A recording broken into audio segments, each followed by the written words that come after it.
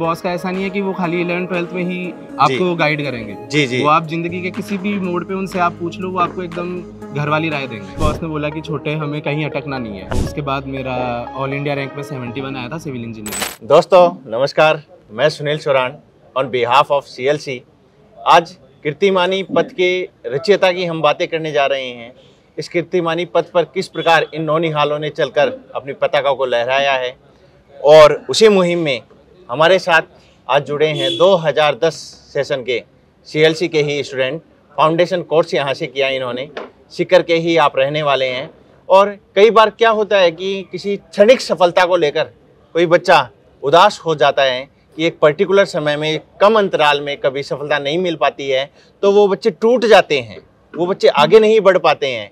उन्हीं के लिए एक प्रेरणा हमारे साथ हैं आज अक्षय कुमार जी के रूप में। किस प्रकार इन्होंने सीढ़ी दर सीढ़ी चढ़ते हुए सफलता के मुकाम को हासिल किया है। इन्हीं के ही मुख से सुनेंगे, आज ये किस पद पर कार्यरत है यहाँ दिल्ली में? तो आइए, वार्तालाप करते हैं अक्षय कुमार जी से। जय सी एल सी मेरा नाम अक्षय दादीच है और मैं 2011 और 12 में 11th और 12th में सी एल सी में फाउंडेशन कोर्स किया था और उसके बाद मेरा ट्वेल्थ के साथ ही एन आई टी इलाहाबाद में सिलेक्शन हुआ था। फिर मैंने वहाँ से चार साल सिविल इंजीनियरिंग करने के बाद एक साल गेट दिया बट मेरा एम था बॉस भी पहले से बोलते थे कि कभी भी छोटे परिणामों में कॉम्प्रोमाइज़ मत करना अक्षय। वो उसी टाइम से बोलते थे मेरे जी जी बिल्कुल। तो फिर मैंने गेट दिया बट गेट में मेरा कोल इंडिया में हुआ था सिलेक्शन बट मेरे को अल्टीमेटली इंडियन इंजीनियरिंग सर्विसेज़ में जाना था। गुड तो फिर मैंने इंडियन इंजीनियरिंग सर्विसेज़ दिया। पहली बार दिया कुछ कारणों से मेरे अंक थोड़े से कम रह गए फाइनल लिस्ट से। ओके बट मेरा रिज़र्व लिस्ट में हो गया था उसमें भी। ठीक है।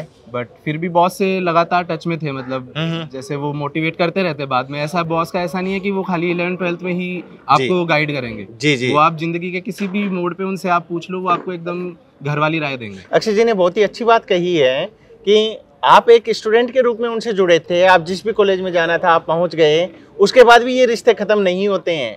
ये रिश्ते जीवन भर बनने वाले रिश्ते होते हैं। इसीलिए तो आजकल एक आदर्श शिक्षक की आवश्यकता होती है एक आदर्श गुरुकुल की आवश्यकता होती है और उसी परंपरा को आगे बढ़ाते हुए सीएलसी चली जा रही है। तो फिर मैंने दोबारा बॉस से भी बात की बॉस ने बोला कि छोटे हमें कहीं अटकना नहीं है। हाँ हाँ।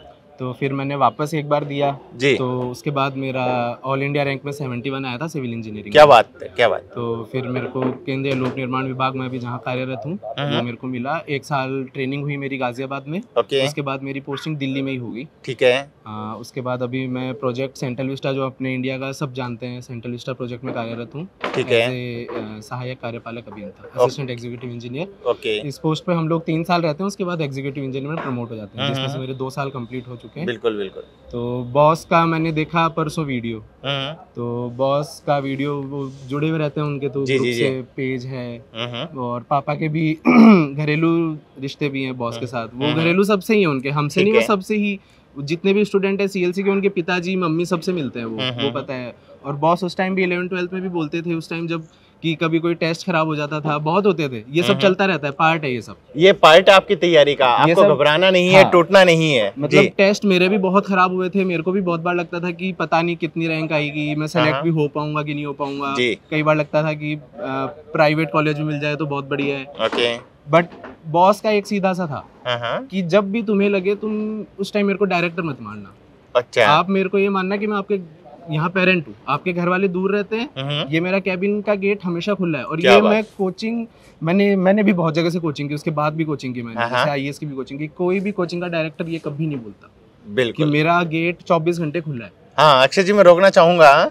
अभी इन्होंने एक बहुत ही अच्छी बात कही है। इतनी सारी कोचिंग लेने के बाद भी इनको वो पल याद है। आज से दस साल पुराना कि एक डायरेक्टर उनसे बेटे से एक बात कहते हैं बेटा घर से तुम दूर हो, ये कभी भी मत सोचना कि आप अकेले हो। ये डायरेक्टर का दरवाज़ा हमेशा खुला रहेगा। और अक्षय जी, ये सही बात भी है। सी एल सी अव्वल दर्जे के साथ में क्वालिटी वाइज एजुकेशन दे रहा है। वो दरवाजे आज भी उसी प्रकार खुले हैं। और बॉस ऐसा था कि मतलब दिन भर कैबिन में नहीं बैठ सकते बॉस भी। तो वो घर का दरवाज़ा भी खुला था उनका। क्या बात है क्या बात वो है। बोलते थे कि चलो कोई बात नहीं मैं कैबिन में नहीं हूँ तो आप मेरा घर का दरवाज़ा भी खुला है। और जाते भी थे स्टूडेंट्स मेरे भी हम्म। दोस्त थे घर पे किसी की दिक्कत हो जाती थी कुछ फाइनेंशियली दिक्कत भी होती थी। हम्म। मतलब मोस्ट ऑफ़ द कोचिंग्स क्या है कि वो फाइनेंशियल एस्पेक्ट उनका मेन होता है। ठीक है। कि फ़ीस नहीं जमा कराई तो बाहर चले जाओ। ये होता है ये मैंने भी देखा है। हम्म, मैंने इनके बाद जब कोचिंग की आई की कोचिंग की तो उसमें इस टाइप से होता था कि आप हम्म। अगर कल तक फ़ीस जमा नहीं कराओगे तो मत आना आई कार्ड इशू नहीं होगा। बिल्कुल बिल्कुल। सीएलसी में ऐसा था आप कोई भी प्रॉब्लम हो कोई भी दिक्कत हो फाइनेंशियल आपकी इमोशनल घर से रिलेटेड कोई भी हो और यहाँ पे तो बॉस का मैंने सिर्फ़ वीडियो देखा था। हम्म। परसों जो फेसबुक पे सर का पेज है तो उससे जुड़े हुए रहते हैं सारी अपडेट मिलती रहती है बॉस कहाँ है क्या कर रहे हैं हाँ, हाँ। सीएलसी में क्या चल रहा है ये अभी वो कैंप चल रहे हैं वो सब देखता रहता हूँ मैं भी। मतलब मैं तो दस साल हो गए पढ़े हुए बट वो देख के मेरे को अपने दिन याद आता है कि मैं भी ऐसे कैंप में पढ़ा करता था बॉस बुलाते थे मतलब डांट डांट के मतलब कौन डायरेक्टर ऐसा होता है कि जो डांट के बुलाएगा? ठीक बात है। मतलब सिर्फ़ फ़ीस आ रही है ठीक है काम हम्म, चल रहा है कोचिंग चल रही है वो ज्यादा- वो एक पार्ट ऑफ़ बिज़नेस हो गया। हाँ, वो लेकिन वो मूल नहीं था वो सीएलसी में ऐसा कौन डायरेक्टर ऐसे होंगे कि आपको बोल बोल के बुलाएँगे कि आप बैठो मैं आपको देख रहा हूँ कि आप पढ़ो यहाँ पे। रात में दस दस बजे हम तो रात में एक एक बजे भी पढ़े हुए थे। Camp hmm. लगता था उस टाइम और बॉस घूमते रहते थे रात में एक बजे तक। जी जी जी। मतलब हम मेहनत कर रहे हैं उससे डबल मेहनत बॉस कर रहे हैं हम्म, हम्म, हम्म, कि हम मेहनत करें उसके लिए। बिल्कुल बिल्कुल। तो वही जुड़ाव था कि बॉस का सिर्फ़ एक वीडियो देखा परसों हम्म, कि मैं दिल्ली आ रहा हूँ। हम्म, तो पहले तो मेरे को विश्वास नहीं हुआ मैंने कहा बॉस दिल्ली आ रहे हैं तो किस पर्पज से आ रहे हैं? हम्म, मैंने कहा हो सकता है सर का कोई पर्सनल हो या कोई तो बट बॉस का पर्सनल सीएलसी है उनका जो भी है सब सीएलसी है। बिल्कुल। तो फिर उसमें देखा तो सर ने बताया कि मैं यहाँ पे आ रहा हूँ। ये अपने एमपी साहब हैं इनके बंगले पे ही फ़ंक्शन है। है जो। एक्स सीएलसीएन है हम्म, जो पढ़ रहे हैं I I T N N I hmm, hmm, तो मैंने कहा मैं भी सर का स्टूडेंट रहा हुआ हूँ और मैं भी जाऊँगा। फिर सर का सर ने कल मैसेज भी किया पापा ने भी मैसेज किया। तो फिर मैं बस आ गया आज यहाँ पे। बिल्कुल। वहाँ यहाँ मेरा एक छोटा सा सवाल रहेगा आपसे। हमने अक्सर सुना है दिल्ली की भाग दौड़ में समय निकाल पाना बहुत ही मुश्किल होता है।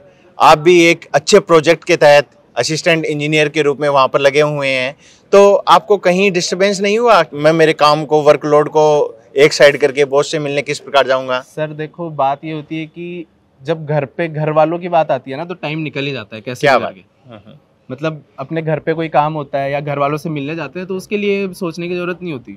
अपन को कहीं और कुछ है तो देखना पड़ता है कि अच्छा वो कितना इंपॉर्टेंट बट ये सर तो घर वाले हैं अपने। बिल्कुल। तो सर से तो मिलने आना था मेरा बिज़ी शेड्यूल था मैंने जैसे तैसे मैनेज किया अपने ऑफ़िस में बोला कि हम्म। मेरे भाई घर वाले आ रखे हैं। मैंने उनको ये भी नहीं बताया कि मेरे कोचिंग के डायरेक्टर है क्योंकि वो फिर सोचेंगे कि पता नहीं क्या है बहाना है। मैंने बोला मेरे घर वाले आ रहे हैं और मेरे को उनसे मिलने जाना है बिल्कुल, दो घंटे मेरे को चाहिए बीच में। बिल्कुल तो बिल्कुल। सर से मिलने आ गया तो अक्षय जी आपने एक अच्छे पैमाने को क्रॉस करते हुए, एक अच्छा मापदंड निर्धारित करते हुए, एक अच्छा माइलस्टोन नई जनरेशन को देते हुए ये सिद्ध करके बताया है कि आपको सफलता पाने में समय तो ज़रूर लगेगा।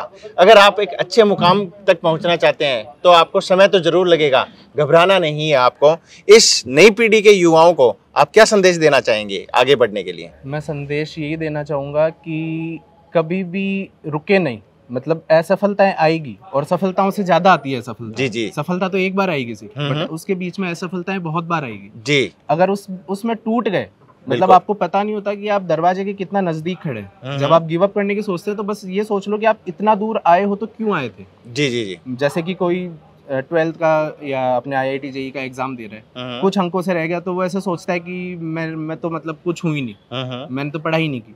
बट ये देखो कि आप इतने दूर आए हो तो क्यों आए हो? किसी पर्पज से आए होंगे आप जी जी जी। तो आप उसी मोटिवेशन को जैसे मैं भी रहा था इंजीनियरिंग सर्विसेज़ दिया मेरा पाँच अंकों से नहीं रहा था खाली। पाँच अंक कम रह गए थे मेरे। हम्म, तो फिर मैंने कुछ नहीं पाँच सात दिन आप चिंतन करिए अपना आत्मनन कीजिए कि क्या कमी रह गई थी। और जो हाँ। कमी रह गई थी उन्हीं को अगली बार दूर करो। तो आप निश्चित ही आपको सफलता मिलेगी और असफलताओं से कभी भी घबराना नहीं चाहिए हमें। तो मेरा संदेश यही है।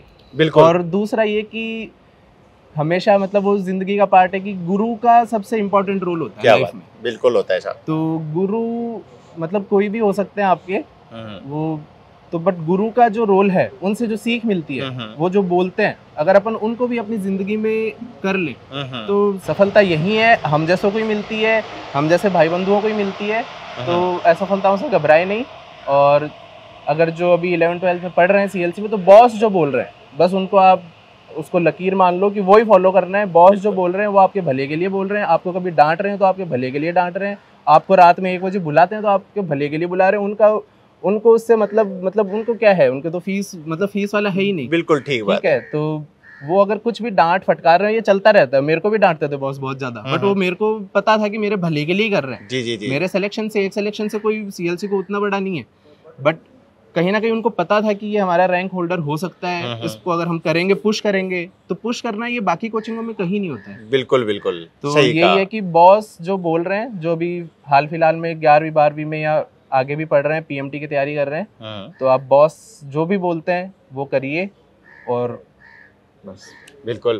तो आपकी इसी बात पर जो आपने संदेश दिया है नई पीढ़ी को हरिवंश राय बच्चन साहब की कुछ पंक्तियाँ हैं मुझे वो याद आ गई। समुद्र में डुबकियाँ गोताखोर लगाता है जा जाकर खाली हाथ लौट आता है। मिलते नहीं हैं मोती सहज ही समुद्र की गहराई में।